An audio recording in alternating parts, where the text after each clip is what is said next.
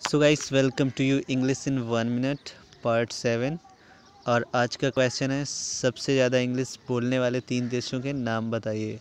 तो गाइस अगर आपको पता है तो सबसे पहले आप कमेंट में बता दीजिए। अगर आपको नहीं पता है तो मैं ही बता देता हूँ।